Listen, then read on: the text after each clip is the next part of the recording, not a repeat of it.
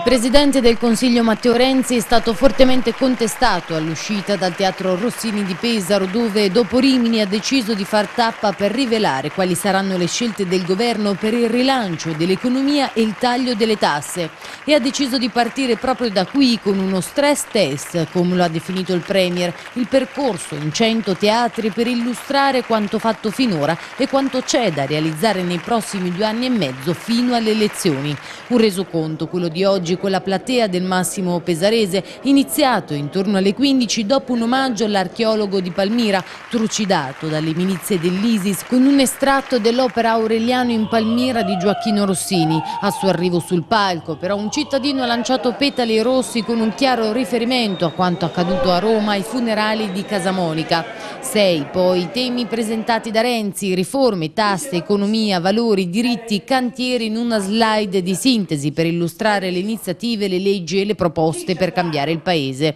Ricordando gli 80 euro iniziali, Renzi ha aggiunto che il prossimo anno verranno tolte Tasi e IMU per tutti, poi nel 2017 interverranno sull'IRES, cioè sulle tasse sulle imprese, portandola dal 31% al 24% sotto la Spagna, mentre nel 2018 si concentreranno sull'IRPEF. Nei prossimi anni non ci sarà una situazione da campagna elettorale, ha detto, ma di un paese da finire di sistemare con le riforme. Dopo vent'anni di rissa di un'Italia divisa fra berlusconiani e non, destra e sinistra, ha concluso, dico che siamo arrivati al momento in cui bisogna lavorare tutti insieme per il bene dell'Italia, senza più permetterci il lusso di perderci nel chiacchiericcio di fronte a tutta la bellezza del nostro Paese. Il Premier inoltre ha firmato un protocollo insieme al Sindaco Ricci e al Presidente della Regione Ceriscioli con l'obiettivo di impegnare il Governo a sostenere Pesaro per il riconoscimento UNESCO di città della musica.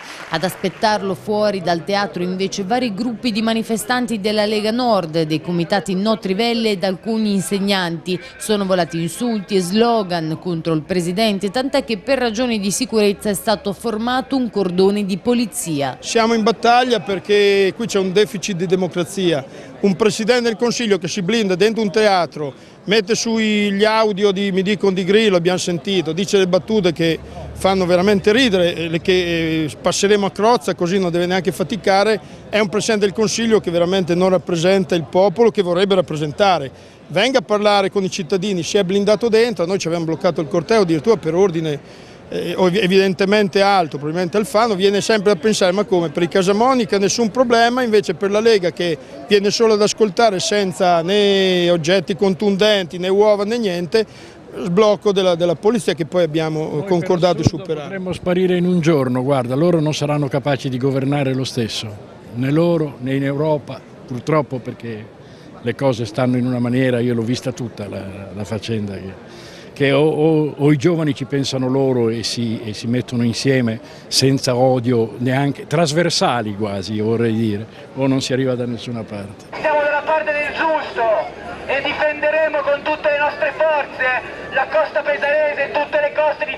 Italia. Che cosa chiedete no, a gran voce? per opporci fondamentalmente contro un nuovo progetto che è stato rilanciato a seguito dello sblocca Italia, emanato da Renzi dal Parlamento e ci opponiamo alla costruzione di questo